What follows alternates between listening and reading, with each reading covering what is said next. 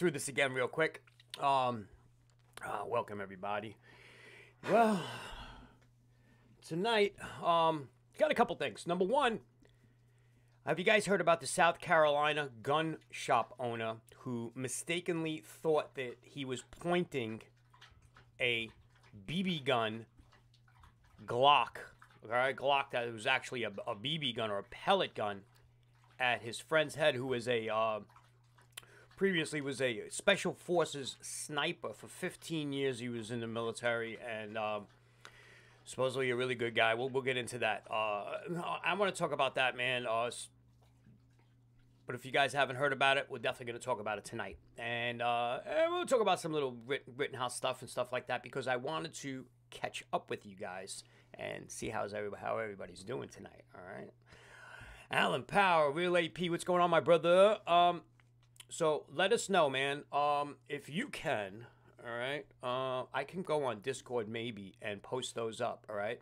Alan Powell's been been churning out some really cool stuff, uh, specifically like stuff to uh, hang up your Glock, 3D printed stuff to hang up your, your Glock, you hang up your uh, AK, hang up your AR-15, hang up your magazines. So I'm putting some really cool stuff out. It's been on my Discord, uh, our Discord channel. It's Warthog community on Discord. So uh, and I want to buy a few, bro. So uh, I'll try to pull up Discord over here and then throw up some pictures of what you got over there, right? Uh, I do not have it. I got changed my my passwords and stuff on Warthog71 on my email. So don't send it to that e- e- email. If you do, I see it on the Discord. If you have anything else you want to post, post it on the Discord while we're while we're doing this, and I'll pull it up on the Discord and I'll I'll put it up here tonight. All right, son, son, son, what's going on, man? My favorite gamer brother, Simformer Big Joe. What's happening, my brother? Shrimpy Muscles, hey from Kentucky. What's going on, man? Red October, good to see you, man. Good to see you. Yeah, eventually I'm going to be back, you know. Gunny79, man. Yes, it has been a while, brother. It has been a while, man. Pedo Joe got to go immediately, bro. But, in, but, but about to crash. I'm drunk already. be cool down there, man. Be cool, right? I hope it's not too warm down there for you, you know. All right, let's see. S2 Power with Sean. What's going on, my brother? Yes, definitely good to see everyone. Absolutely, absolutely. I'm pouring myself segregation noon out. Andrea, what's going on? Yes, I saw you on Twitter. Followed you back on Twitter. Fantastic. Um, I don't even really know. I think Warthog71 on Twitter or Real Warthog71 on Twitter, or something like that, you know. On other forms of social media, somebody's taken Warthog71 and happens. So I'm like, look for Real Warthog 71 or just W71. Uh, if you looking on any other forms of social media, if you if you're you know interested in finding me. So, uh, Robin Sage, what's going on? How are you, Robin? Let's see. As soon as my strip lower comes in, all right, I'll be doing another build. This one's for my dad's Christmas. Absolutely, definitely, bro. Post pictures up on the, on the Discord. Okay, if you are not on the Discord um, Sean, uh, S2 Palletwood, uh, I'm sure he could post a link in here uh, because uh, I think I might have a link in here somewhere. Let's see. I might be able to post a link. I'll put a link in the description uh, for the uh, for our this is our Discord channel, so which is pretty cool. And uh, I've been popping in on making comments stuff like that. But I want to get back to doing lives on that where we could actually talk to one another, which is a lot of fun. And uh, but yeah, Joe, definitely looking forward to that new build. Uh, I am interestingly enough, speaking of builds, so my last build, uh, well, my last two, one was the 22. I did the uh, BCA uh, video on that. Haven't really done a video on the 11 and a half inch BCA side charger that I got. But I will tell you, man, um, I'm digging it. I'm digging it. 556. And on top of that, now I was on BCA's website last night because they offer some really awesome deals. You know, I mean, like getting 10% off, 15% off, 20% off. They are affordable. And I don't care what people call them, the pores or whatever. They want to get nitpick and pull out their damn Harbor Freight tools to take it apart. Uh, it's just ridiculous. You know, some of the videos that I, and reviews that I see on there. They put out, hey, it's affordable it gets the job done. Are you going to put it on a full auto lower and start rattling it off, you know, like the idiot VSO channel with a 458 SOCOM or whatever he did? And we, why would we take a hunting round and make it full auto? How does that make any sense at all? But that's neither here nor there. I have found, uh, I'm actually, probably tonight I'll order it, uh, 6.5 Creedmoor. I've been wanting a 6.5 Creedmoor upper. I have when I shoot 6.5 Creedmoor, I shoot it. I have a bolt action Ruger, so uh, I like to shoot it in a bolt action. But I do want a 6.5 Creedmoor in semi-automatic. Why not? We should all have one, right? My point being is that $265. They've got them for 264 and 269. They've got with a sporter, what they call a sporter billet upper that doesn't have any uh, uh, uh, forward assist. It doesn't have any brass deflector or anything like that on it. Uh, it is a rear charger, which I do for a 6.5 Creedmoor. I do want a rear charger, just in case I have any issues. I like side charging. I'm kind of digging their new Gen 2. However, for a larger frame, I would rather a rear charger. And here's the only reason why. If I have an issue with a failure to eject, let's say, for example, stuck case, all right? What do you do in the case of a stuck case? What do you do in a case of a stuck case? You mortar it. A lot more difficult to mortar it if you're holding a side charger, okay, than mortaring it. You just hold it right back of the charger handle and mortar it in order to get that damn stuck case out, if that'll work for you. So there you have it there, you know. All right, what's going on? There we go, Sean. That's it right there, man. All right, so guys, if you, you copy and paste that, join the Discord right there, man. Jump on it, man. We have a lot of fun. Guys are posting every single day on it. And this is, they shut us down on here. We have another place that we can uh, uh, all keep together. Plus, you guys get to know each other, you know, guys and girls and stuff like that. You get to know each other. When I say guys, I mean guys, girls, and, you know, all whatever pronoun you want to call yourself. I don't give a rat says about that shit. Still haven't bought any of my parts for my uh, G26. I just did a G26 build last night. I would show it to you guys, but I cannot. Um, but I will take some pictures of it. And uh, had a little couple issues with it. Um, I did check it out. Uh, Sean, I called up actually Sean because he built two, and I had a still. They're always quirky. Uh, when you're building a polymer 80, let me tell you something. This is what they get me when they talk about uh, ghost guns. They build them and they put them out on the street and they start shooting people right away. Ghost guns. Yeah, well, um, nobody talks about the part where uh, you may be having to file down a, a slide in this place or that place, or you have to really go to work on it. That it is not easy to put together one of these things. Okay, I mean, it, it's not hard to put together once you know what you're doing. But my point is, You've got to work it. And I don't have the luxury of building something and walking out back and popping off 50 rounds to really break it in. So I really got to break it in before I take a half hour drive to go and shoot it someplace. I need to, you know, you don't want to get there. I'm like, ah, this damn thing don't work. I'm going to spend the whole afternoon trying to fix it there. Negative. Not happening, you know? Ah, here we are, here we are, here we are. Oh my God, we've got big channels on here tonight. Real, real big channels on here. Alaska Ballistics. What's up, brother? What's up, brother? If you want to jump on, all right, listen, anybody, if you want to jump on live and you have an internet connection, tell me. I will send you a link and you're more than welcome to join the discussion live if you want to go with your cell phone. With your camera, you could block it off if you don't want to show your picture or something like that. We could just hear your voice. If you want to jump on, let it let me know and I will uh, send me uh, let me know. I'll put up my phone number. Just send me a link uh, to my phone number here, and I will send you a um, blah blah blah. Send me your email address or whatever. Send me your email address via my phone number that I'll throw up right here. Okay, and for you guys that don't have it are looking on a small screen, like Pedo Joe Gotta Go told me about this. Uh, then you can uh, shoot me a text with your email address and I will shoot you a link if you want to jump on and you want to go live and I'll throw you up here on the screen and we can talk about stuff because there's a couple things I, want, I do want to talk about tonight. You know, EVK, what's going on? I see EVK over there. The bolt goes forward. yeah, yeah. Hey, have you guys watched that that film? Um, uh, uh, uh, the harder they fall. You know, Black Western. You know, there were a lot of great, uh, not so known black cowboys. Okay, you got to remember something. Um Los Angeles, by the way, when Los Angeles was actually starting to become populated, the city of Los Angeles, it was a town back then, and you know, but when that area began populated, probably 30 to 40 percent of it was at, in the beginning, almost half of it were actually African Americans. Uh, there were always uh, up north uh, a lot of Chinese because of the railroads and stuff like that going on up there. They've been there, there since the 17th, 18th century, 18th century, I think. But my pool, very well made. And Idris Elba, big fan of Idris Elba. I like him a lot, you know. All right, my brother. Catch you on catch you on the next time, my man. Michael Henry, what's going on, man? My man from Arkansas, what's going on, man?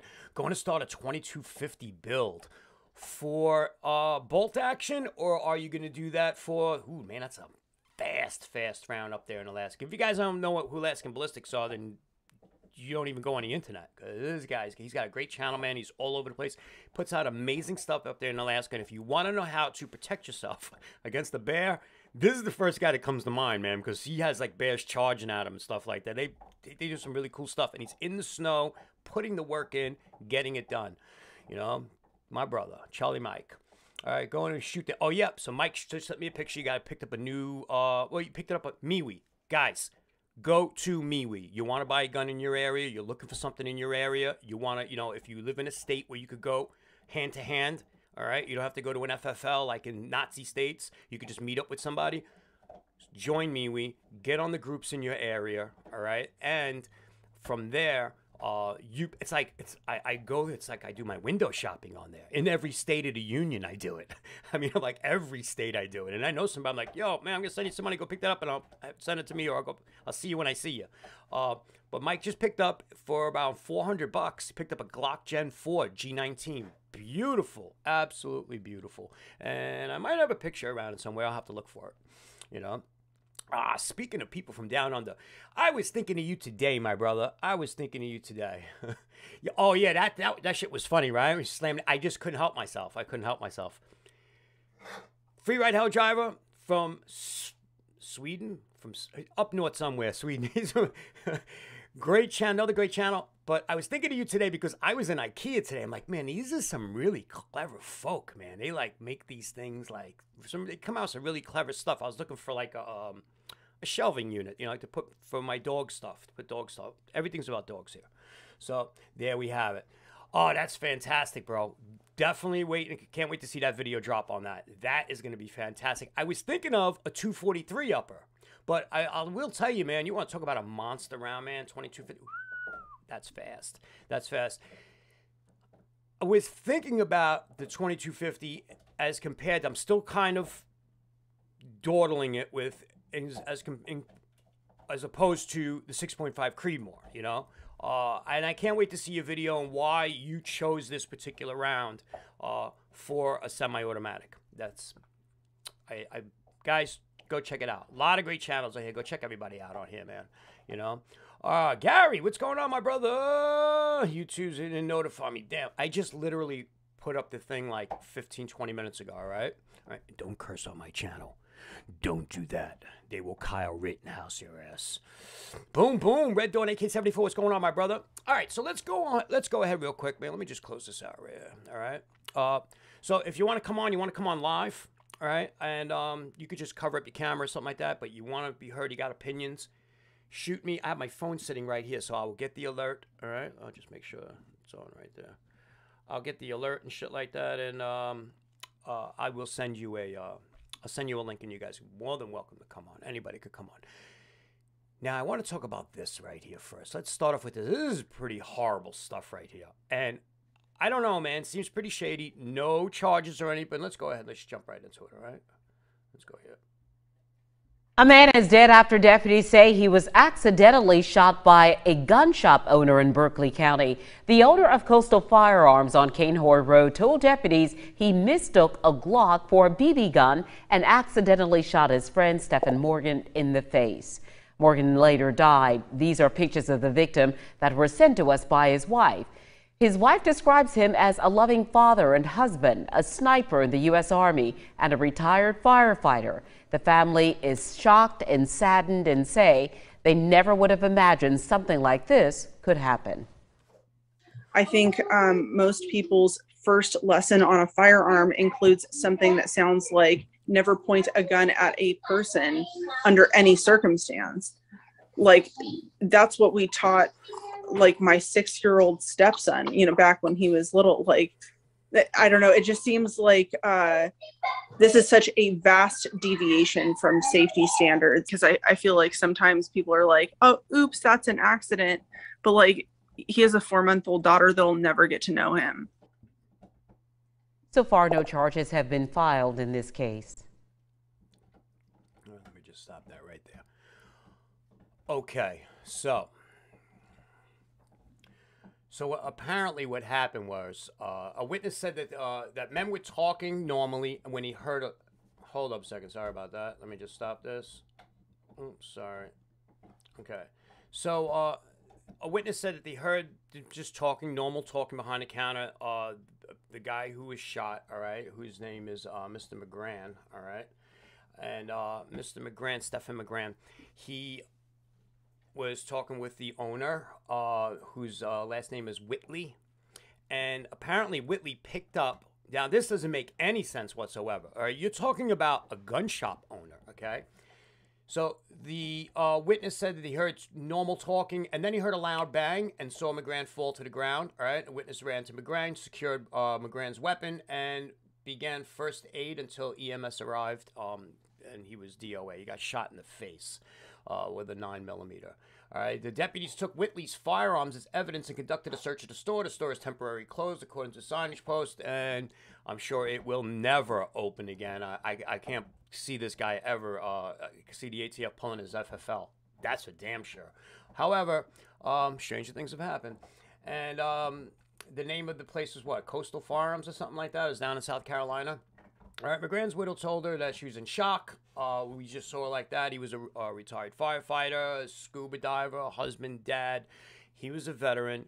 He, for whatever reason, this guy picked up what he thought. Did he have always keep one around? Like, and my whole point is, why would you ever point a weapon unless you're the prosecutor in Kyle Rittenhouse and you just point the weapon at the entire jury. But that's neither here nor there. Why would you point a weapon at somebody, let alone, and then squeeze the trigger? Even if it was a pellet, even if a pellet gun that's moving at uh, 460 feet per second on the average, okay, if it's got a brand new uh, uh, little CO2 thing in it, it's got to be around 460, 490. I mean, that would sting and hurt. You take a guy's eye out. But in this case, and on top of all of that, all right, so we already know that. Now, this is a guy that eats, sleeps, and breeds firearms. He sells them for a living. No charges were filed in this. Yet something just doesn't smell right. You know what I mean? I'm sure they're going to do a deeper investigation. I would hope they're going to do a deeper investigation. I'm sure with this leftist uh, uh, uh, uh the with, with, with the leftist, I want to say uh, temperature that we have here, that somebody is going to do it. But the point is, is that the guy picked it up, pointed at him, squeezed the trigger, and the man died. Now, on top of that, so you got a guy who practices firearm safety for a living. He should because he's an FFL. All right, it's a, it is a gun store, and even though you and I both we've been in gun stores all the time. People flagging people on a regular, picking it up, looking at the scope, flagging everybody, you know. Uh, but this is just a blatant act of, uh, I, I, can't even call it. I can't even say that it's, uh, um, the guy made a mistake. I mean, even a pellet gun is dangerous. So, on top of that, how can you not know, being a professional firearm, this is what you do for a living, can tell the difference between a picking up a loaded Glock and a loaded or whatever it is pellet gun. Can you not tell the difference in how it feels in your hand? I mean, uh, granted, not everybody's John Wick or whatever, but you can feel the difference. I'm sure you can. So, uh, what do you guys think about that? Let's see what we have. Yeah, it is. Re- it is really, really sad. You're right about that. Uh, I, I don't believe the story either, and I'm gonna tell you, man. I had to talk about it. I know it's been on the internet for a few days, but I've just been muddling it through my mind. This just makes no sense. Now, don't get me wrong. I wasn't there. I only get what I get from the news. So it's not like I actually went down there to, you know, find out what's going on. But just by the way it sounds, man, it sounds pretty crazy, man. You know, and I agree, man. It's got to be more. It's got to be more to the story. It's got to be, you know. Um, why would a loaded Glock just be lying around in a gun shop? And that's another point. You know, why wouldn't it be on his hip? Why would it be like? It, I can understand being in a gun shop and carrying. I mean, isn't uh, South Carolina? Uh, I forget about. Never mind all that. Uh, of course, you can carry if you own, if you have an FFL. You're in a gun shop. You know, John Dobak, what's going on, man? I used Harbor Freight, all right? The tie rod tool Titan AR 15 barrel nut. Yep. Harbor Freight's cool. I was just making him. The reason I said Harbor Freight on that is because of the video that I saw. He was using uh, some cheap, cheap Torx tool, and he was saying that it was stripping his tool, like the uh, he was taking apart a BCA upper. But if if that's what you're referring to, but uh, I got some Harbor Freight stuff here, man. You know, Harbor Freight. Yeah, if I need to buy something, I'll go there real quick and I'll buy it. If it's something that I need, but if I'm going to use it every day, all the time, I want to buy. I would like to, if I could afford it, to buy something that will last me forever. You know. Uh, What's at Baldwin's gun shop? Let's see what's at. All right. But guns are normally loaded at gun shops unless the shop owner is carrying, all right, it doesn't get robbed. I get that. You know what I mean? Um, a BB will, yeah, a BB in the eye will mess you up. Uh, I don't want to get shot with anything, man. I don't want to get shot with a blow dart. Speaking of blow darts, what's going on with that, uh, concert down there where all these people died, and one of the security people said that he got hit in the neck with a blow dart, and it made me think about the Project Veritas. Uh, remember when they were talking to that guy on Project Veritas, and he was like, "Yeah," he goes, "You know, people don't want to get vaccinated, we'll just hit them with a blow dart." And you know, fentanyl. If you think of fentanyl or carfentanil, it's so powerful. So the, one of the security people said, "Felt like I got stuck in the neck with something." He says, and then I just like passed out a few moments later, and it could have been fentanyl or something like that. It's hard to say, you know. All right, all right. Who we got over here? It, it was a prop gun. Oh, you are bad. You are bad. You know, ah, you are so mean. That is terrible, terrible, terrible. All right, guys. So, uh, I want to know what you guys think about. You know, uh, what I want to think about this. I want to. I, I want to know what do you guys. Thumbs up, thumbs down. What do you guys think about this Kyle Rittenhouse thing? First of all, I'll tell you what I think. Uh, I've been going over, been following it just like many of you maybe have been following it. A lot of us are too busy to follow, but I pop it and I listen. I will be really, really surprised if he wins. If he didn't have such a terrible prosecutor on this case, okay, that is only just that he's just a nasty guy. All right. He's not really good at what he does. He's a good liar because all lawyers are good liars. All right. This is what they do for a living. But if it wasn't such, if the, if number one, if he wasn't innocent, all right, let's put it that way. All right, we already, I already believe that he's innocent. This is what I believe. He's protecting himself. He's innocent. Everything that I have looked at, okay. You've got the FBI that has suppressed their drone footage. They have also suppressed their uh, their IR, their infrared drone, uh, uh, FLIR drone footage. Okay, and so, and I've seen lots of pictures all across, uh, still shots, some videos here and there of, you know, when they were talking about. Let's we'll start from the beginning with this, uh, with with the with with, with the with the tree jumper, whatever else his name is, Rosen Rosenblum, right? So, and he said that he put the fire extinguisher down, and then he was pointing the weapon at him, and I've seen different photos, uh, with the infrared where you could see that the weapon doesn't show up it shows up white, so it has no no heat to it or anything because it wasn't fired prior to that or anything like that. And you could see that his arm was actually out to his side. He wasn't pointing anything. He was holding the weapon this way with one arm, and the other arm was down. Uh, but if he didn't have such a poor prosecutor that put on such a poor case, all right, and if he didn't have he, he he's lucky to get, he'll be lucky to get out. This is my whole point because his defense attorney is freaking horrible, man. I mean, this guy is absolutely, yeah, I mean, he's doing what he's doing right now, but you listen to him. I mean, I sit there and listen to it, and if you guys want, let me know, man. I'll play some of the uh, his closing arguments. It is just, it's painful to watch. It's painful to listen to. Kyle himself, whoever prepped him, and if it was his attorney who prepped him, all right, whoever prepped him, it's good. That kid is way ahead of his time, and I truly believe that down the road somewhere in some form of training, okay, for some type of organization, they are going to use what he did and how he reacted so cool under fire at that particular time. Because this kid had, he had, I, I didn't see, it's like without malice, this kid, he is a natural born operator. Cool as a cucumber under pressure. No doubt about that. All right. Keeps his wits about him. Kid got banged in the head with a skateboard, was going out, and still had the uh, awareness of number one of this feeling and seeing an attack come towards him, thwart off, defend against an attack, and see who the people who had their hands up, who weren't attacking him, and stood down.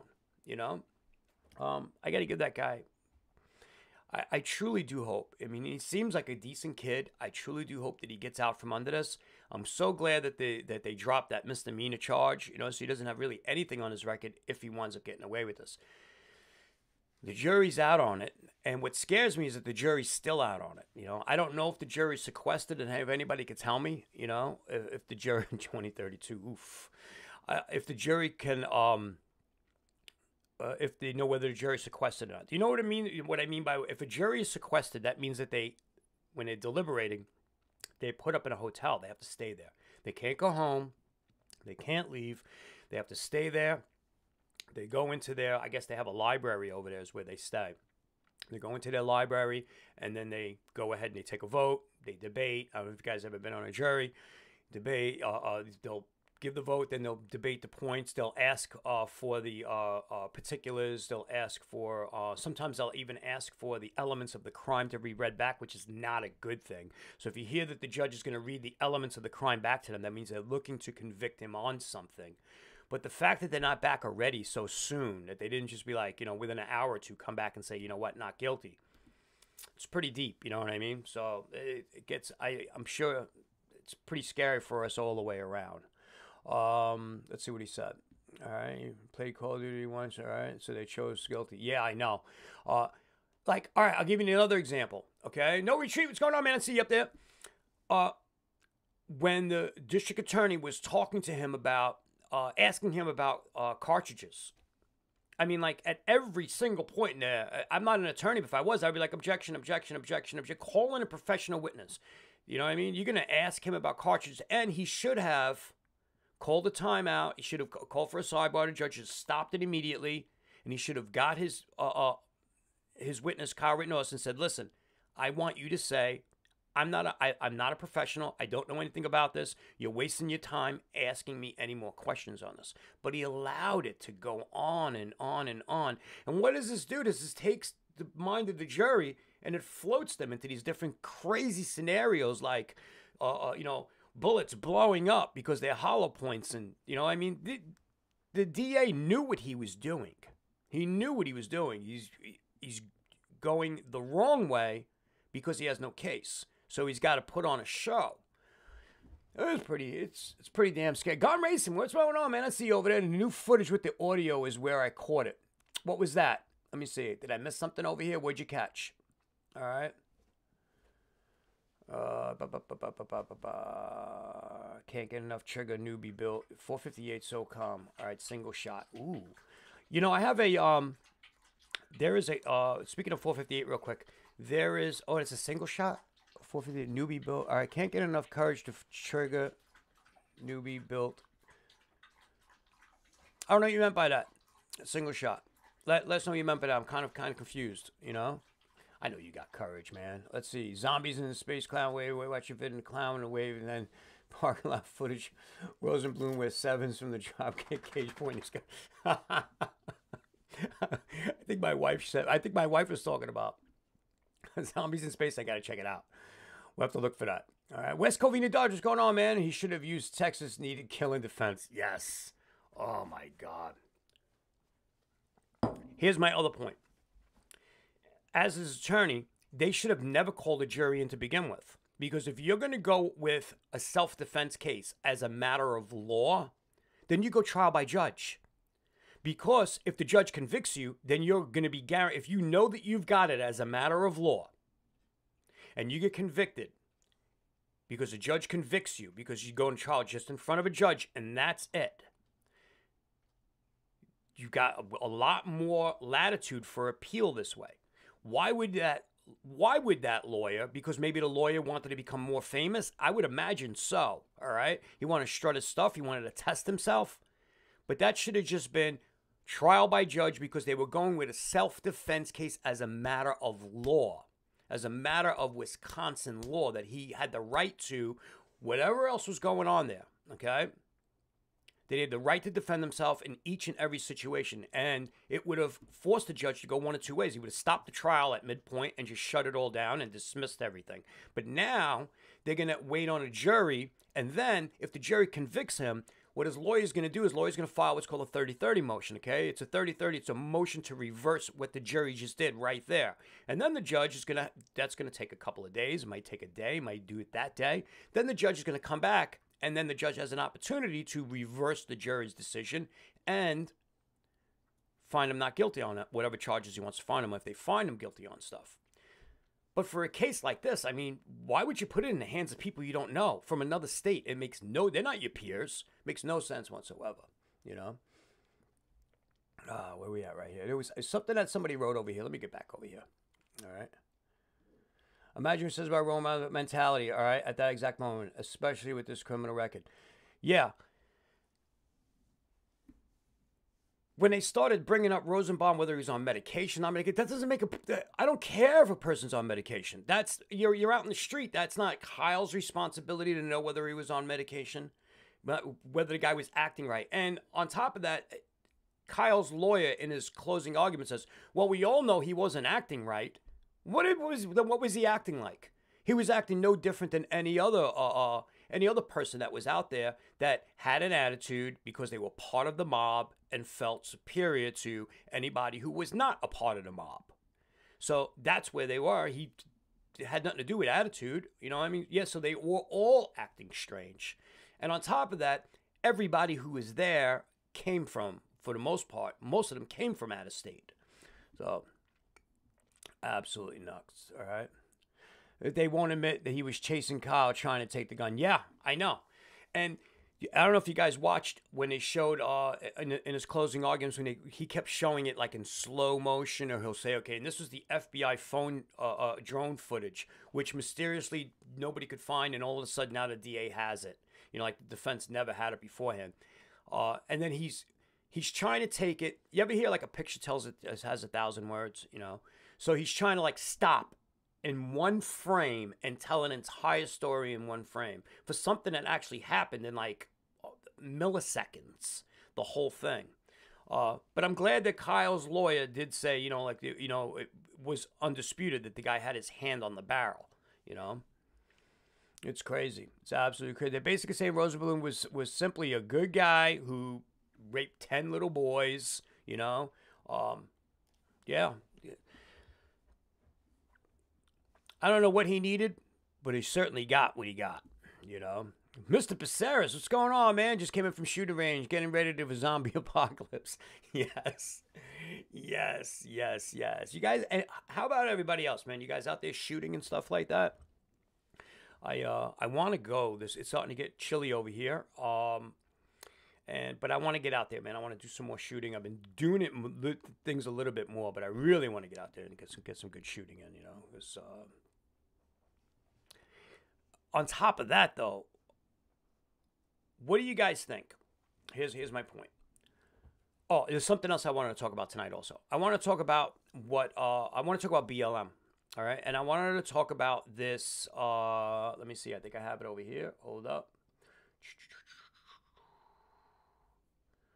Uh, did you guys see the Don, the Dan Bongino thing?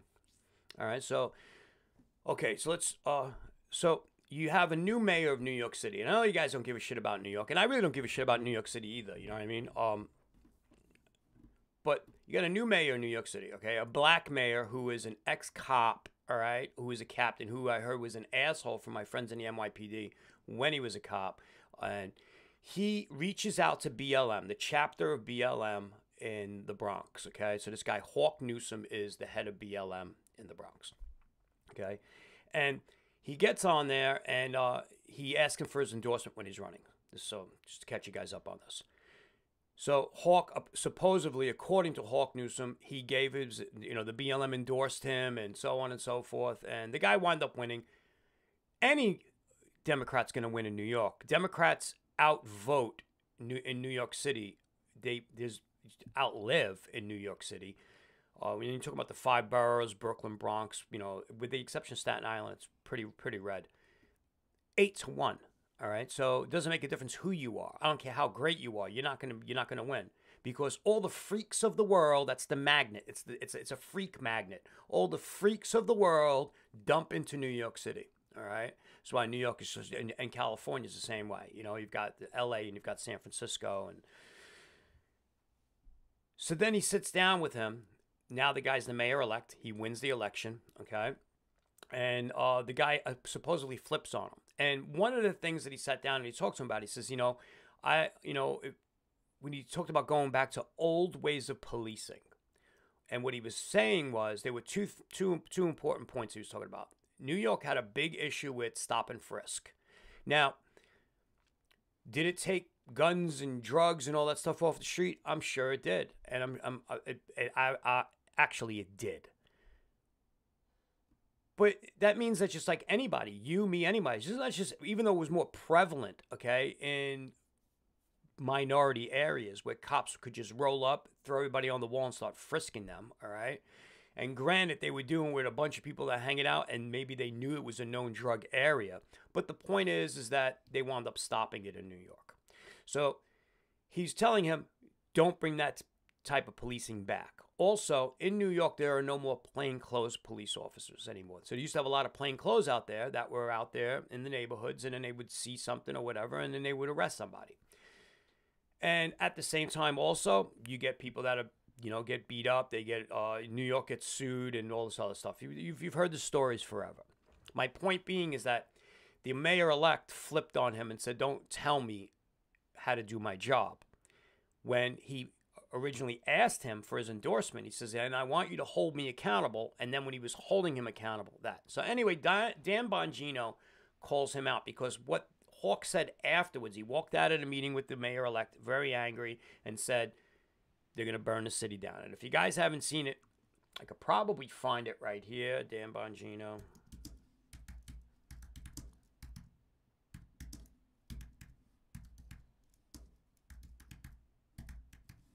Let's see. Okay.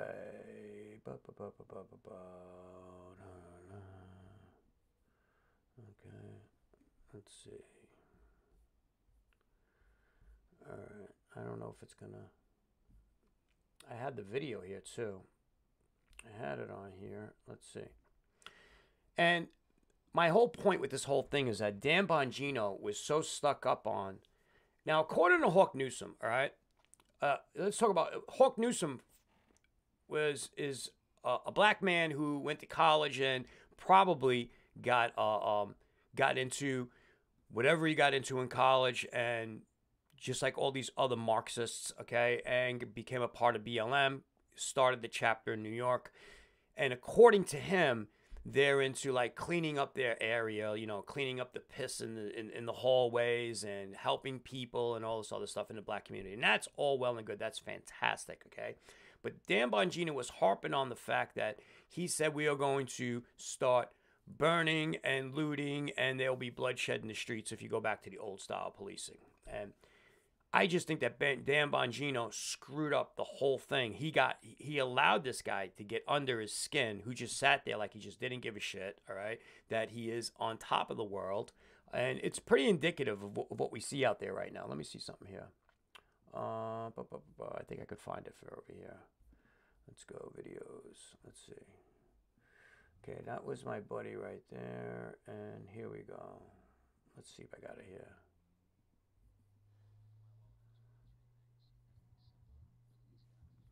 I think I can find it for you guys right here. We go. Let's try. I think we found this channel right here. Let's see. Hey, what's going on, y'all? It's your boy LaRon, and we're back with another video.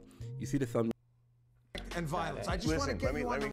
Because I don't want somebody else's opinion on it. I want to just see the see the thing right here. Someone just showed it, but oh no no no, not showing it right here. Oh, this is it right here. Here we go. This incident you don't like. No, I. Okay. Do you condemn riots and burning down buildings after a police use of force incident you don't like? No, I, I can. I, what I'll say is I understand when a police officer unjustifiably kills someone, why people lash out. I understand that completely. I didn't ask- I'm not why going can't to, you answer the I'm not going question? to. I'm not going to condemn. You can't answer the nor question. am I going to condone it. Now, now, see, here's the thing. Isn't when Osama cowardly? bin Laden, when? Osama bin I'm not gonna Laden and those it, but I'm not gonna terrorists it, so attacked the United? States of America, can you let You- me listen, talk? man. You have a show. You no, talk no, as much you as seem you to want. talk a lot of talk? junk, and then when I put you on the spot, you won't answer a damn question. Do you condone I'm answering violence, the you question. I'm violence? answering You're the all over the question. place. Just I'm condemn the question. violence and burning of buildings down. How hard is this? Okay. So when uh, Osama bin Laden attacked the World Trade Center, did you say is America should deal You're with it answering peacefully? the question, man. I'm Nah, posing questions to That you. has nothing to do question. with people burning down businesses in New York City. You're not going to answer the question, Hawk. But listen, Uh, wait, okay, I'll give you this. giving it a I'll give you this. I'll Uh, give you this. No, I don't to get. I condone it. I don't promote it, but I will not condemn it. Yeah, that's just cowardly, man. That's just cowardly. No, You you're need a to stand coward. for something. You Yeah, know what? yeah. You see, I'm you're trying coward, to bait yeah. me. God admit- bless you, man. I'm out of here. Nope. God bless. Yeah, All right, so okay. One of the things that I, I could not help but agree with Hawk Newsome about is he said, All right, now let's look. They're looking on a smaller scale. All right, so let's look at this logically. Let's talk about this for a second. They're looking on a small scale of what their needs and their wants are. They're saying, look, we don't want the type of policing that was there before. And what he did say in his interview is like, hey, this is something because with with all the electronics, with all everything that we have at our disposal in this city, he said there's got to be a way that we could get this right. And Hawk Newsome had a huge point there. But Dan Bongino just wanted to talk about the burning and the looting and the fear factor of it all. You know what I mean? Like, truth of the matter is, nobody gives a fucking rat's ass, okay? Nobody. New York was up and running right after the last time it got burned and looted. Who cares, all right? Who are the ones that pay for the burning and the looting? It's not the small people, it's it was the major businesses, the big businesses. Who cares about that? Corporations are the ones that suffer. Now, in that regard, when that was happening, Hawk Newsome also talks about. He says, you know, we can, we, we should be, we should be able to have a conversation about this so that we can figure out a way to go forward, so that we know what's going on. And I get that. Nobody wants uh, um, any type of law enforcement abuse or anything like that. He wasn't saying, you know, uh, he wasn't going all a cab on them. He wasn't saying nothing like that. He was just saying, look, we should talk about this. But Dan Bongino wanted to get to the, the burning and the looting. So then I said, and then he also mentioned about the stop and frisk in the Fourth Amendment. And Hawk Newsome says, look, he said, I believe in the Constitution of the United States. He said, so anything else that you're saying doesn't make any difference to me because I believe in the Constitution. And then it got me to thinking as I'm listening to this, and I said, okay, I gotta have to look at this with both of my eyes wide open. So yes, we feel the same way about the federal government infringing upon our rights in any way, shape, or form. So we wouldn't be opposed to, although violence is not never the answer, but it may be the only solution at some point. Do you get my you understand what I'm saying? Which is essentially what I got from what Hawk Newsome was saying. He's saying, look, I'm not condoning it, I'm not supporting it, I'm not against it, but sometimes it's the only solution. And because if if someone's not listening to you anymore and they're still holding you at the end of a dagger or at the end of a gun, what then what other choice do you have? And I guess that's what he's saying. Now, don't get me wrong. When we see rioting and looting, we see opportunists. It's always going to be that way. It's always going to be that way. You know what I mean? But if nobody's listening to you, and let's pay attention to something, all right? Let's let's make something patently clear. All in 2020, all the burning down, all the riots, all the craziness, has anything changed? Have any of these cities actually changed where they say, yeah, we're defunding the police, we're doing this? I mean, like, they you want to cut so much off the budget of the NYPD. Like, this is what I know about because I'm here and I have friends who are law enforcement who are still making the same amount of money that they were making, doing the same thing. They have to change their policing in, so, in certain ways. So be it. Everybody's got to change here and there. I remember being in the service and they they had I people in basic training were holding up yellow cards, stress cards, because the drill instructors would, if they stressed them out too much, they would hold up a card. Say, You're stressing me out too much. This is my yellow card right here. And then we we, we move past that. Now we got you know uh, uh, soldiers with nail polish out in formation. I mean, and that'll pass too. But my point being is that Dan Bongino, because he's an ex-cop from Brooklyn in the 75th precinct, and he's got so many law enforcement that support him, he cannot. He's got himself painted in a corner. He cannot go any other way. This whole conversation should have things that really should be talked about.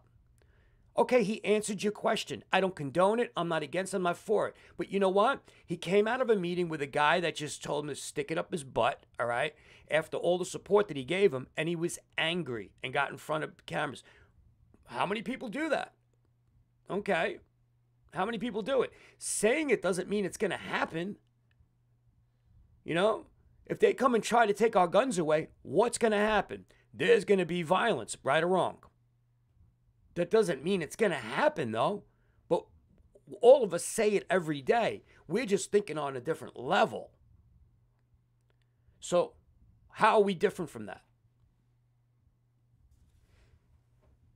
And get, trust me, I'm no BLM fan, but do what you got to do, you know? What do you want me to tell you? Joshua Spencer, what's going on, man? We didn't fight to be freed from shackles from the British so that we could accept the changes of domestic tyranny. I agree. I agree 100%. 100%. As you see more and more, so you got to remember something, all right? So, in my opinion, it was an opportunity for the left to use BLM to do their bidding.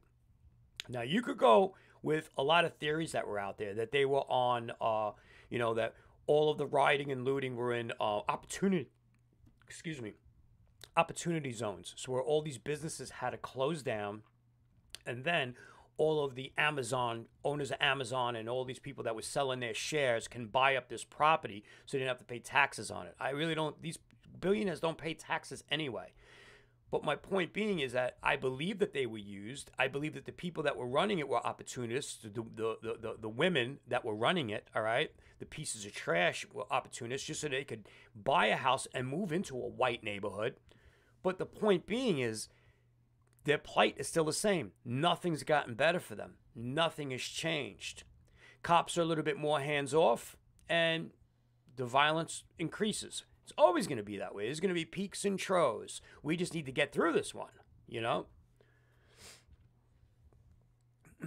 yeah, there will be blood. There's always going to be blood, you know? And there's always going to be the same thing. Showing what's going on, brother. It's always going to be it. So when I think about it and I say, you know what? Okay, you know, uh, I don't have to like what somebody does. I don't have to like what they stand for. I don't have to uh, like what your history and how you got there, okay? The beautiful beautiful part about being human is that you can change your point of view at any time and it's your business why you do it. You could hate a group of people or hate something. I, I hated Brussels sprouts my whole life until my wife made me Brussels sprouts. I would not eat Brussels sprouts as a kid, all right? So if somebody who knew me when I was young that I wouldn't eat Brussels sprouts and saw me as an adult eating Brussels sprouts, they're gonna be like, "Oh, you're full of shit, man. You told me you didn't like Brussels sprouts. You know what I mean? Now I see you eating them. Well, I changed my fucking mind? You know what I mean? I like them now. I like the way my wife makes them. I won't eat them the way I had them as a kid, just boiled. You know what I mean? Um, but you get my point. So yeah, so you have to look for things because you got to remember something. None of us are in this alone. We can't do this alone. We can't do any of this alone. We have to work together in order to move forward. People who are Second Amendment people like us, and don't get me wrong, I am not about educating. I am completely and absolutely against all this shit about educating the non the anti-gunners. I don't give a fuck about you. All right. If you didn't want to take the time to educate yourself, this is something I like. Okay. Something I like. I don't fly rocket ships. I have no reason to fly a rocket ship. I got nothing against them. I'm not going to go out there and vote that people can't have rocket ships in their backyard. Okay. I just don't want one. I don't want to go into space. All right. I like oxygen. My point being is that for tyranny in general, it takes everybody. And a guy like Dan Bongino doing what he's doing here, he's just continuing to perpetuate the separation of calling the, uh, this guy who is obviously a leader in his community. Now, this guy's a college educated guy. All right, he's not a he's not a stupid guy. All right, he's not a guy that uh, sides up and sides next to. And, and before I say everything I said, I've been reading it to Hawk Newsome all week. All right, and I say the guy he got to where he got to. There's, sure there's a lot of stuff I don't know about him, but you know I like his Sergio Tacchini uh, uh, outfit, but there's a lot of stuff I don't know about him. But on this particular point, I could say, okay, the guy said some really important things. He's pro Constitution, all right? And he wants to move past any form of tyranny, you know? And this has nothing to do with being against the NYPD, you know what I mean? Because we need police. We love our police. We should support our police, all right? But we don't want to be the ones that get pulled over by that asshole, also. You know what I mean? And then we're like, damn, man, this really sucks. You know I mean? I support you guys. What are you doing? You know? If we were doing nothing wrong, I guess. You know what I mean? Black Lives Matter. yeah. Oh my God! You can change it. Hey, jeez. Prosecutor flagged the flag in court seen the judge shorter. All right, all right. Pull a tourist judge from the robe. all right. If you ask me something, I'm running a and running run data fumes. All right, all right, my brother. All right. Colin Kaepernick drafting all the NFL players directly from the. Yeah, did you see that stupid shit on Colin Kaepernick? The way they're like measuring their reach on that, and he's comparing it. I mean, you see, these people are opportunist instigators, is what they are. LeBron James, why would you pick on a 17 year old boy? What does that have to do with you, LeBron James? You know, you know what it is? It took LeBron James to become a millionaire to prove how much of a piece of shit he really is. It took money for the real LeBron James to come out and say how much he hates people. I could never, ever, ever say I hate a race of people. It just makes no sense to me whatsoever. Are there a lot of asshole white people? There's a lot of piece of shit asshole white people. Are there a lot of asshole black people? I'm sure there are, just like every other damn race. But it doesn't mean, you know what I mean? Like, has no. To, for somebody to take every single time they get an opportunity to go against something that is other than them, that's a piece of shit. You know what I mean? And people like that don't deserve to be in our society. You know, they everybody deserves to have an opinion, don't get me wrong, because this is what America's all about, all right? But somebody who keeps doing it over and over again, that's a little psychotic right there. There's a problem there. And if you gave somebody like that power over people, imagine the horrible things that they would do with it. That's the scary part about that, you know? Biden called him a white supremacist. Oh yeah, and, and apparently uh, Kyle Rittenhouse's family is uh, the, the, lawyers are trying to do something. You know, his mom, his poor mom, this kid's poor mom. You know, so did you guys hear about the two million dollars that you know? So uh, I I sent some money. Uh, we could send a dollar. You send a dollar. You can send whatever you send when when he was trying to put money together, right? And did you guys hear? So what's that guy's name? who is the uh, the lawyer from Texas, now in Georgia, and he lost his uh, law license in Georgia, but he was um, he was the original lawyer. What the hell is his name? He was really popular in the Trump movement. You know what I mean? The hell was his name? Well, it turns out that he was trying to grab that two million dollars from because he was a part of getting that two million dollars together you know, with going out there and getting people's money. He was trying to get the judge to take that $2 million upon the completion of the case and put it into his account. I'm trying to remember this guy's name. It'll, it'll come to me at some point. If it comes to you, let, Lin Wood. There you go. That's his name. I, I, that's one of the things that I've read. I don't know whether or not it's true or not, but uh, it, supposedly Lin Wood was trying to get his hands on that money. You know, um, you know, it's like, thanks, Gary. I appreciate it, man. I got a lot of stuff on my mind. Is I mean, I know I'm jumping all over the place, man, but I've got a lot of like, I'm watching this stuff. All right. And I want to tell you something that I told one of, one of the other guys. Um, and uh, it was actually uh, S2 Pallet what I told him doing this stuff right here, going live and talking about this stuff and living in ch- keeping up with. I'm not one of these channels where I jump on the new new thing. I have to digest it. I'm slow in a lot of ways. I have to think. You know what I mean? Uh, I have to think about it, and then I got to think about how I think about it. Um, but it really, really affects me. It affects me so like it makes me sick in a way when I think about it because I'm so I'll have such a strong opinion on something that I can't pull myself out and look at it in a bird's eye view and really try to think. Like my original thing when I saw Hawk Newsome when he said about, you know, burn it all down, do this, my original thing was like, you know, okay, what do we got? 1,760 yards in a mile. We got a bullet drop of this. And, uh, you know what I mean? Like the, the craziness, the craziness that rattles around your brain.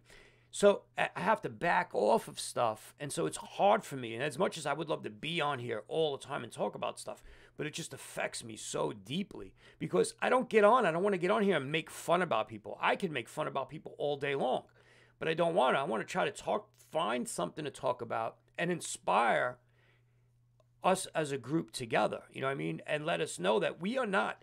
The last thing that I want to do here is I want us to live in a bubble. I just don't. You know what I mean? Like, uh, I, I don't want us to be in a bubble where new we're just sounding the same thing off of one another. It just makes no sense to me whatsoever.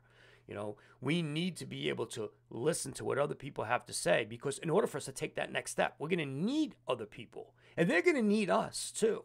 You know, um, you know all this shit that people think about. I was talking about. I wrote something on somewhere. Uh, guy was talking about. Um, oh, so this guy on Reddit says, "Hey man," he says, uh, "What would be the best distance to uh, zero in my red dot?" He said, "I don't have the best of vision. What do you guys recommend?" He says, "I'm shooting five five six.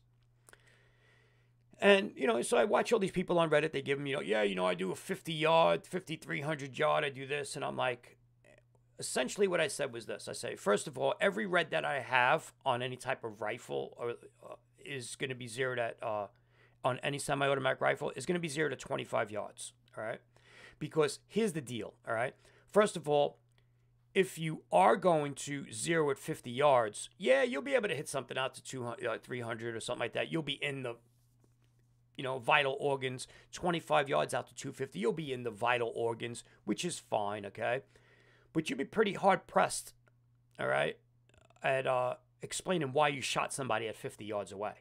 You know what I mean? If you needed to protect yourself with a red dot, because a red dot, in yeah, can you hunt with it and stuff like that? But you know, most hunters, I don't know if they would use a red dot. I would use use a scope. You know, whether it's an LPVO or it's a regular regular rifle scope you know you want to make a, a you want to make a good kill. My point being is that why would you zero your weapon at 50 yards if the only threat that you would ever have would be under 25 yards? Okay?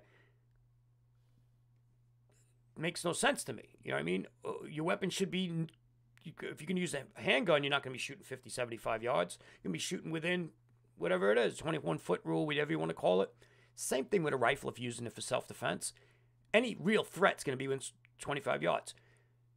But the thing is, I said, all these lone wolf mentality people thinking they're going to be fighting a war somewhere, shooting an unknown enemy that's going to be shooting at them from 50 yards, which isn't going to happen either.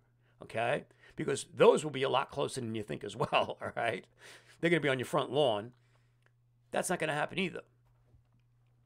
And, um, guys got really pissed off at me. You know what I mean? I say, I, am like, hey, you know, you, if you fall into that category, you think you're that lone wolf mentality guy, you know, then you haven't thought this through, okay? Because, uh, yeah, there probably is a war coming, or there probably is something coming, all right? But we just don't know what it is yet, you know? And so what do we do? We just keep our friendships close, you know? But listen to what other people have to say, because we may have to move through their area to get to where we need to get to. So we need to understand them you know, I hate to see it happen somewhere else. You know, um, yes. Speaking about before, the reason I've been going live is because talking about all this information really gets me deep. That's why. That's what the whole thing is. You know, you know. Colin isn't wrong, or I just said it wrong. You know, I I mean, Colin has a right to his own opinion. He has a right to do whatever he wants to do, but he's taken it and he's materialized it and he's made money off it. That is wrong. That is absolutely wrong. My brother, what's going on, man? How are you? Thank you very much, man. Good to, good to see you. Trying not to get snapped by those gators down there, man. You guys, this guy doing some alligator shit down there, man. It's really crazy. He's got an alligator in his house. And it's, every time he takes a picture, the alligator's like looking back at his dog, like, wait till I get bigger. No more goldfish for me. I'm going to be eating dogs. You know what I mean? Uh, Ray saw 90% of it is a form of control, is not really slavery, up, upset or fail. Yeah. So essentially, basically, I just wanted to get on, man. I want to talk to you guys, man. Uh, I am hoping that the the uh, Kyle Rittenhouse, you know, like I truly feel for this kid. I truly, truly do. Uh, I seems like a good kid. I'd like to see him have a good life, but uh, he's, you know, yeah, people say I'll be looking over his shoulder forever. Maybe, maybe not. You know what I mean? But I'll tell you what, I wouldn't be the one to go after Kyle Rittenhouse. I mean, I know he's armed. That kid is on point. That kid is a killer. You know what I mean? He's straight up and down gangster. Now he is. You know, don't let that baby face fool you, man. That kid's got a good eye, man. He's not afraid. Uh, he's got heart. Um, I think that. Any thoughts on Tim Kennedy? Who's Tim Kennedy? Hold on a second. Who's Tim Kennedy? Let's see. Because uh, this was this, this is all about you. You guys talk at whatever you want to talk about. Throw it up there. Let me look up Tim Kennedy right here. Tim Kennedy.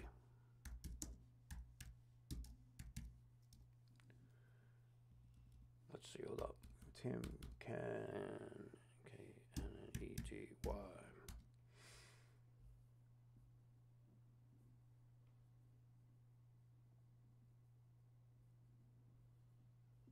Are you talking about the fighter? The ex, ex, uh, ex. What did he do? The BJJ guy, Tim Kennedy? Is that who you're talking about? MMA and Army Sniper. I don't know who he is. Let me check him out. Oh, I've seen this guy before, man. Yeah, he's pretty cool. Um, this guy, He's not the one that said that stupid shit on uh on Instagram, is he? He's not the guy that said that stupid shit on Instagram, is he? Is that is that the same guy? Because that was uh you know that was pretty um hoity-toity if you ask me, you know. But uh yeah, I mean he's done his thing, you know what I mean. Let me tell you, guys. I know I speak to him all the time, my bros, man, and guys that are serving still today. Um, I, my my buddy just said it the other day. He said it. He said it perfectly. All right. He said uh, retired command. He's still working at Ranger School. Retired command sergeant major Ranger School. He said, "Yeah, Steve." He says everybody wants to do operator shit till it's time to do. Everybody wants to be an operator till it's time to do operator shit. You know, and he's right. Um, yeah, I mean, I, I don't know. You know what I mean? Like, I've never, I, I just don't know the guy. Um, He seems like a good guy. I got to give it to him. He's taking everything that he knows, he's taking everything that he does, and he's making a living off of it. And if he's making somebody's life better somewhere along the line, then he's doing a fantastic job. You know, when I used to train people, the the biggest thing out of it, all right, was uh watching the transformation of the people that I used to work with. That's the biggest thing for me. That's what I used to get about it. I never forget when I was a, a, a personal trainer. I got out of the service, came home. I didn't know what I was going to do. And I was really into computers and I was really good at it. And I was standing online. I'll tell you guys this little story. So I'm standing online and I'm going to get my um, uh, Microsoft Certified Systems Engineering uh, uh class so I could get, become a Microsoft Certified Systems Engineer. All right and I'm on 40 40 something. I'm on no 26th Street. I'm on 26th Street in Manhattan. And I I don't have a job and I'm out of work. I got like 70 something dollars in my pocket, man. I'm you know, I mean like I'm I'm broke. I need to get this job, man. I've been going to school. I, I, I had graduated college and I needed wanted to get this engineering stuff and I really wanted to get on. And this is man, this is a long time ago. And a friend of mine calls me. So when I was before I was in the service, I grew up in a whole like karate family too. You know, I mean, like my, my cousins own dojos all over the United States, West Coast martial arts down in San Diego, here in New York. We were always we used to fight as kids, like with uh, really fight for money because we didn't have any money. Like be out there trying to hustle money and stuff like that. We used to fight like real chalked off rings and stuff like that. So I was always into martial arts and I was always into teaching and stuff like that. When I got my first black belt in Kempo and then went into the service and didn't really do much with it in, in the military. You know what I mean? Like, and martial arts back then wasn't not like it is today. Okay, big difference. All right, MMA has changed everything, and what we've learned in just the past 20 years of MMA is more than we've learned in the past 2,000 of martial arts. You know, we've learned what works. Okay, so anyway, so I'm standing online and I get a phone call from a friend of mine. And he says, "Hey man," he says, "Hey, this place is uh this it was a big hopping gym in New York City called Crunch Fitness." He said, "They're looking for personal trainers." And you pretty good talker and you seem to know what you're doing. Would you like to get a job? I'm like, "Well, do these guys make any money?" He's like, yeah. He goes, you know, like most of the guys, he goes, if they're working full time, they're, they're probably making, uh, you know, uh, 30, 40, 50,000 a year. And this was pretty good at the time. I'm like, I'll try it, you know? So he says, uh, he says, there's, I'll, I'll set you up with a meeting. So I go downtown. He gives me a meeting with this woman who is the personal training manager at this Crunch Fitness. Big club down in, uh, uh, uh, um, lower Manhattan. So I go down there and I go to meet with her, and she completely blows me off. But while I'm down there, I get to talk to somebody else and said, "Yeah, there's going to be um, this other this certification program is going to be held at the, another Crunch Fitness up on 38th Street." Make a long story short, I go up to 38th Street. I sign up for everything. Like a week later, I didn't even study for it. I went and took my took my test. I spent the whole weekend with the class and uh, tested out. Passed the test. Became a certified personal trainer in New York City. As I'm walking out, I see the training manager of that club and his name is Antonio Cini. And he says, Why should I take a chance on you? He goes, You don't know anything about this. I said, Well, I just got certified, but I tell you what, if you give me this job, I said, I'll, I'll, I'll never let you down. You know? Now, mind you, I never made it in the door because I was waiting online outside, never made it in the door to get my certification for the network networking engineer. I turned around and ran downtown to try to get a job. So I missed out on this other thing. So when I got down there, I'm the type of person, I'm like, I'm fully committed. I have to do this now. I need to end this day finding a job, which I wound up using the money that I had in my pocket to pay for the certification. Went to the class, I get a job. Make a long story short, at that particular club right there, I was eh, within the first year, I was the first six months, I was the top trainer in the club. I think that first year I made around eighty thousand dollars in that club. Right. So that started my career off as a personal trainer, and Crunch was known with all the celebrities and things like that. And this guy comes up to me who's now training managers had changed, they get transferred around. And I never forget the training manager said this to me. It's my whole point of coming back to this. He said, You know, he says, I remember when you started, because they would give you leads the new people that would sign up in the club. Then you would get in contact with them. You give them their first personal training session. You'd learn about them, and you would, uh, they buy personal training sessions, and you would work with them. He said, Steve, he says, even from day one to day now, he goes, I watched you from when you here. He goes, whether it's just a lead that you would make $7 or you'd make $45 an hour on your new clients, he said, they're all, you're just as excited about both of them. And I told him, I said, it's not about that. I said, it was about working, helping somebody. I figured out that I could actually do something really good. And I was changing people's lives. And what I didn't know at the time that these were I was networking at the same time. These were all very wealthy people. If they could afford to pay that amount of money for personal training, they had to be wealthy, right? And that was the whole thing. The whole thing, just like when you talk about Tim Kennedy. All right. So if you're changing at least one person's life doing this, the rest is all gravy. You know what I mean? And that's what kept me going. And then yeah, I a part of me was like, man, I wish I would have wound up doing that. Then I got to occupational therapy and I started, you know, so my career changed as time went on.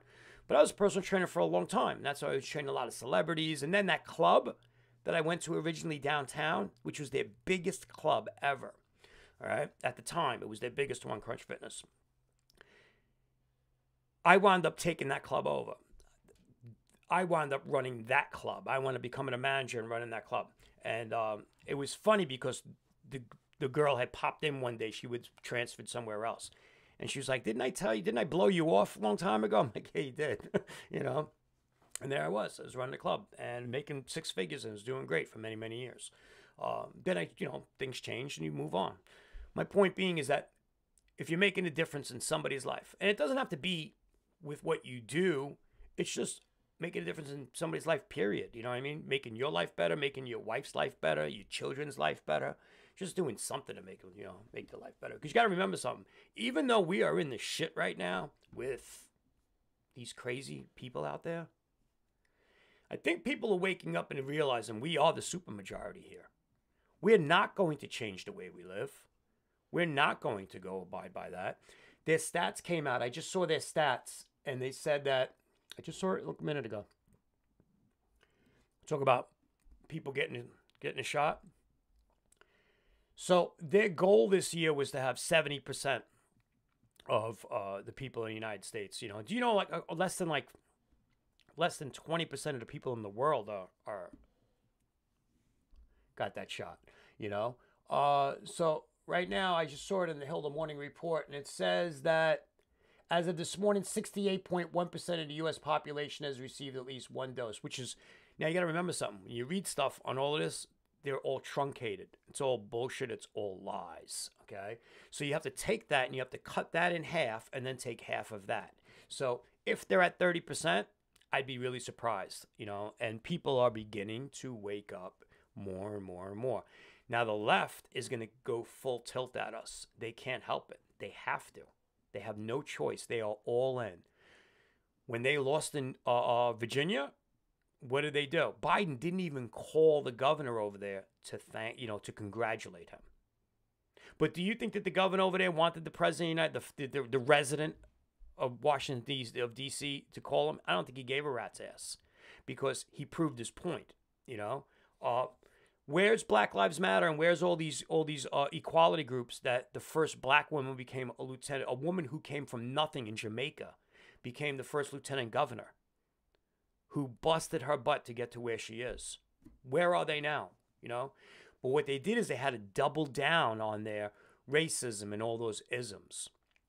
And with that, I want to show you, I'm going to close this up with this. It's going to take 12 minutes. Have you guys seen the, the series on the isms? You're going to love it. Okay, let me go ahead and pull this up.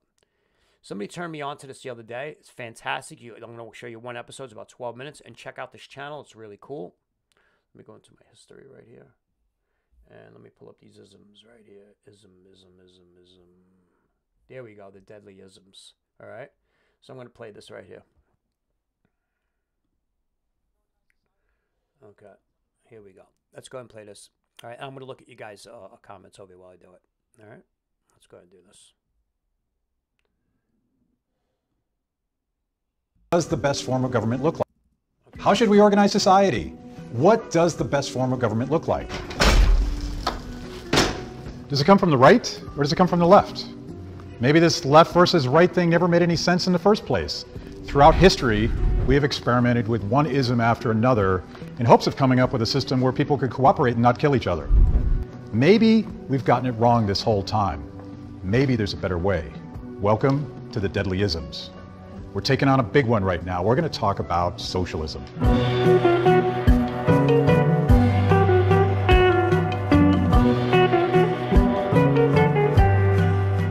There's a growing movement in America hoping to resuscitate the reputation of socialism. Leftists from the very young to the almost comically old are telling us that it's an ideology rooted in compassion, inequality, and justice, and not something we should be afraid of. Democratic socialism means guaranteed economic rights for all Americans. With the right policies and the right people to implement them, America can finally become a paradise of economic and social justice. It's important to recognize that most advocates of socialism are motivated by compassion, the same compassion we all share for our fellow men and women. Most people prefer wealth to poverty, freedom to slavery, equality to oppression, and peace to war. We just differ on how to get there. Unfortunately, compassion alone isn't enough to solve complex economic and social problems. A socialist economy requires leaders with enough knowledge to direct the activities of millions of citizens and with the hearts pure enough not to be corrupted by an immense amount of political power. Is such a thing possible? Looking around at socialism as it's practiced in the modern world, it doesn't look good.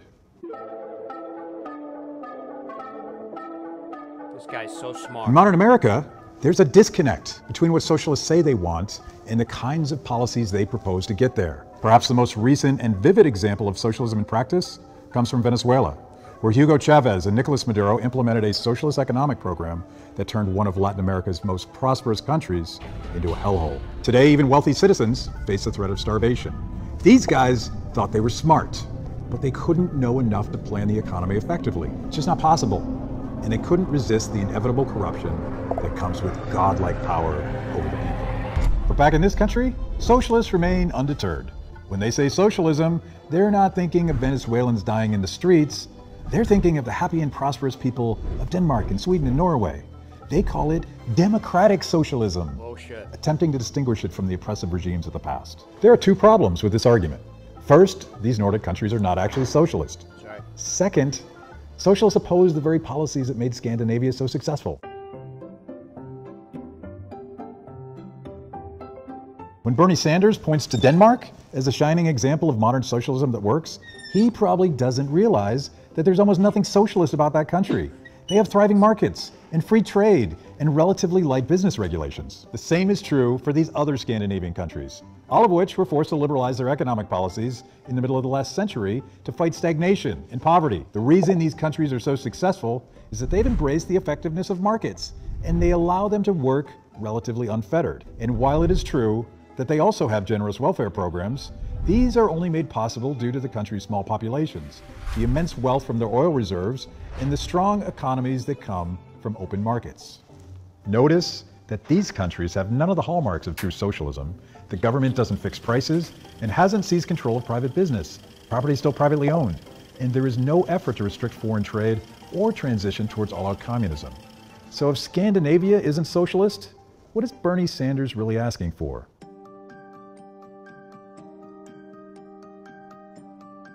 Think about some of the things socialists have asked for in the United States. They want a universal healthcare system run by the government, not private providers. We must provide a healthcare system that provides quality healthcare to every man, woman, and child in this country. That is precisely what Medicare for All is all about.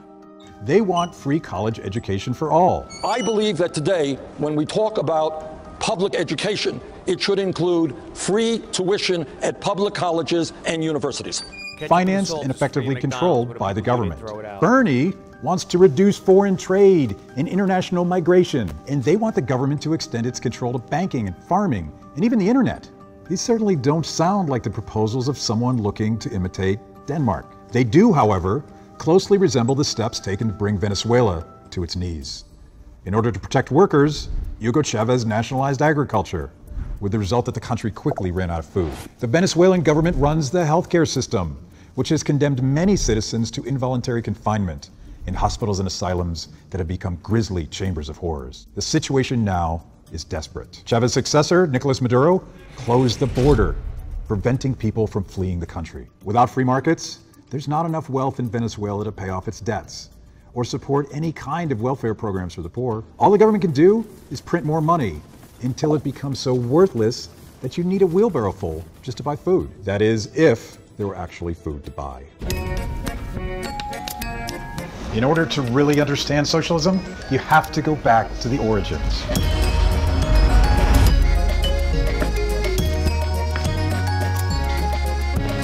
The term socialism was first used by Marx to explain the transition from capitalism to communism.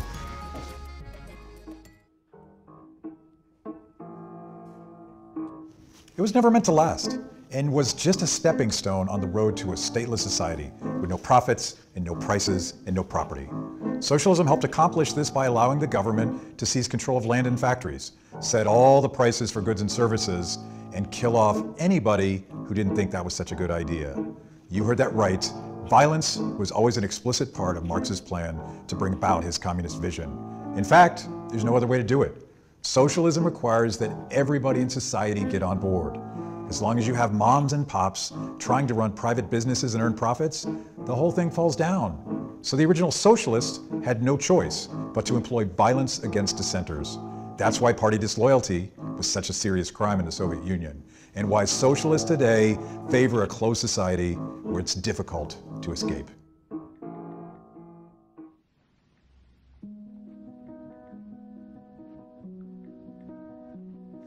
Throughout the 20th century, we saw regime after regime put this theory into practice, as Chairman Mao, Pol Pot, Stalin, and Castro turned their brutal oppression of the citizens into the pursuit of the socialist greater good. So if socialism in practice has always been a violent and miserable failure, why are people so eager to support it? What do they know that these socialist revolutionaries didn't? We often hear that the regimes of the past weren't really socialist, and that socialism done right hasn't been tried. Implicit in these claims is the idea that today's politicians, given the same tools as Stalin and Mao, would be able to produce prosperity instead of poverty.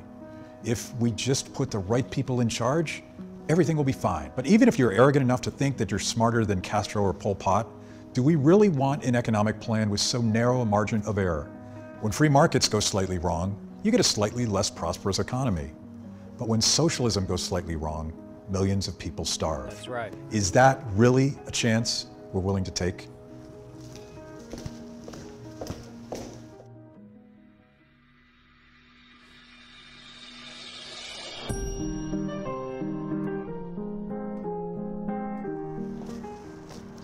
Words change over time. The concise Encyclopedia of Economics defines socialism as a centrally planned economy in which the government controls all means of production. I'm pretty sure that's not what young people mean when they use the word. As near as I can work out, socialism today just means working together to solve problems, and there's nothing wrong with that. Cooperation and community have always been cornerstones of society, and dare I say it, liberty. But it's important to be honest about the lessons of history. Socialist policies, however good they sound on paper, don't lead to happiness or prosperity, they lead to starvation, poverty, misery, and oppression. We can have an open conversation about which direction we think our country should go. We owe it to each other to do just that. But we have to be clear about the words we use and what we actually mean when we talk about socialism. If the word still means what it always has, surrendering our freedom to a supposedly all-knowing, all-benevolent government and expecting it to take care of us, then we should know that going in and not be surprised when the results aren't quite the utopia we were promised. this down. So, one of the things when, when you one- one last thing on socialism right here is that you know, see, it sounds very alluring to young people because you've got young people who, where did they grow up in? They grew up in homes being taken care of for the most part. You know what I mean? They're being taken care of. All their needs are being met. You know, they as a child, they were being fed, they were being clothed. As a uh, in, through their formative years as a teenager, basically the same thing. Maybe they learn to get a job, you know, and they'll earn a little bit money, but still the roof that's over their head is paid for. Then they go out and they get a grant, so they'll get their family will take out loans to send them through college. So these people have never worked as a young person has never worked so it sounds very alluring to them looking into the future. But the truth of the matter is society unless there's a free market involved can never evolve and can never progress into what we have today. Yeah capitalism is rough man. You either you know you make it you're either a worker or you're or you're not working at all or you are a uh, a business owner but the whole point is, it's the ingenuity, it's the creativity that arises out of the type of system that we have. That's what makes it so wonderful. With socialism, you come up with a good idea, the state already owns it, the country already owns it. We already know this. So, you know, socialism is the on ramp to communism. That's all it is. It's not, a, you know, it's not a highway. It's not a, you know, passing road or anything like that. It's not a stop off point. It's just an on ramp to, you know, to someplace really, really bad. You know, um, uh, Red Dawn also mentioned, uh, yeah, the squabble, Belarus, uh, uh, over the, the border immigrants. These globalists are paying them this money to get these people to these borders. I got to tell you, man, Poland, they don't let anybody in, you know? They don't let anybody in at all. And if I was uh, uh, running a country like that, you know, like, I'd be doing the same thing. And they don't we don't hear anything about the, the, the, the COVIDs. We don't hear anything about that over there, okay? They do not allow immigration, immigrants to come in. They're trying to get past their borders. And Germany is responsible. Germany is responsible, I believe, a lot for what's going on here in the United States as well. You know, I think it has to do with their debt, a debt that they've owed to us as well. You know, yeah. Next time we speak, next time we get together, I want to talk about the trucking uh, industry and the fact that truckers are being made to take the shot now and what it's doing. And I'm going to bring Gary on, uh, who's on over here. Uh, Gary, he's he's a trucker, and it's something that he's really having to deal with because he may have to get the shot in order to keep his job and feed his family. You know what I mean? Like. Uh, that's something that we really, really need to talk about. It's I've been looking into a lot, Gary, and I want to bring you on, man. Set it up in the next couple days, and we'll definitely get it done. You know, uh, I didn't. I saw it when you wrote me the other day, and we and I just haven't gotten back to you on it. I've been just trying to do my research. That's all. You know, I've been to Cuba. All right, they all hate their. Absolutely. Why would they love it?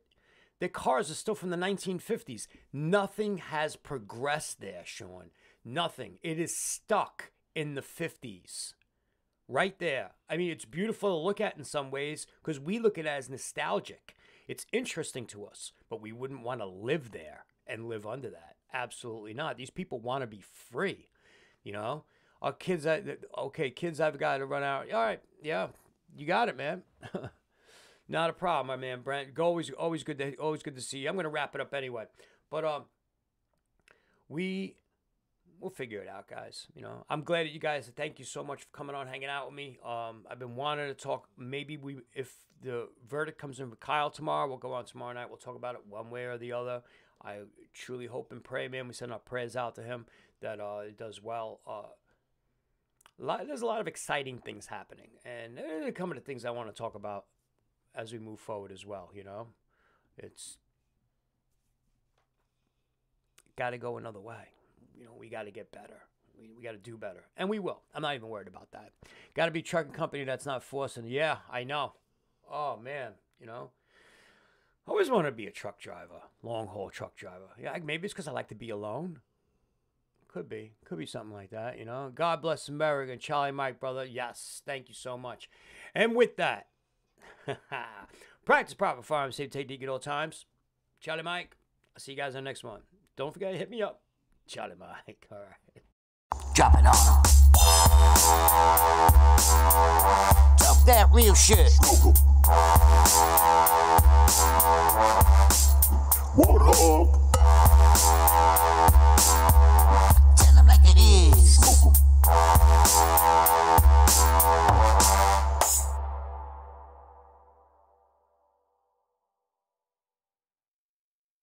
Drop it on them. That real shit. What up? Tell them like it is.